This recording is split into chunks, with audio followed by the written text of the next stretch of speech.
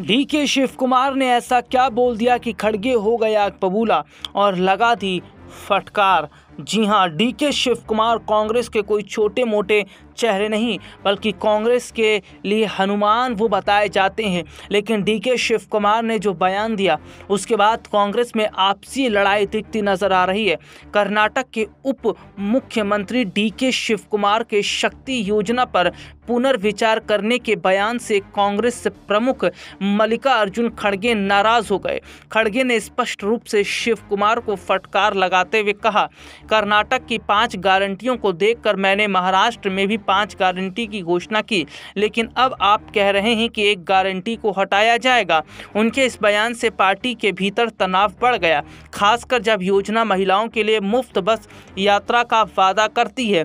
DK Shiv Kumar ने हाल ही में कहा था कि महिलाओं के लिए मुफ़्त बस यात्रा की योजना का पुनर्मूल्यांकन किया जाएगा क्योंकि कुछ महिलाएँ टिकट का भुगतान करने की इच्छा व्यक्त कर रही हैं।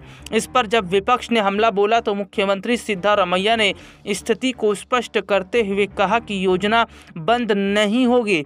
उन्होंने बताया कि शिव कुमार ने केवल समीक्षा का सुझाव दिया था, जिससे खड़गे और अन्य नेताओं के बीच स्थिति और भी जटिल हो गई।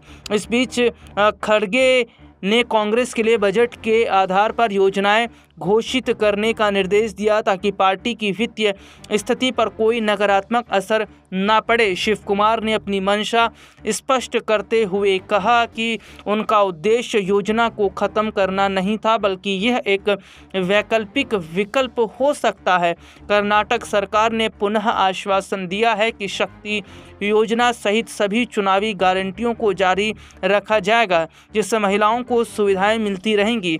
इस स्थिति ने कांग्रेस की की रणनीति और आंतरिक समन्वय की आवश्यकता को और अधिक उजागर किया है और पार्टी को इस विवाद को हल करने के लिए ठोस कदम उठाने की आवश्यकता है। दरअसल डी के शिव कुमार ने सीधे सीधे तौर पर कहा कि जो योजनाएँ लागू की गई हैं, उन्हें आगे लागू किया जाना चाहिए। इसके साथ ही साथ उन्होंने जिस तरीके से अपनी बात रखी, उसके बाद मल्लिका अर्जुन खड़गे जो नाराज़ हुए, उसके बाद कांग्रेस में जो आपसी तकरार देखने को मिल रही है, इसका बड़ा नुकसान पार्टी को उठाना पड़ सकता है।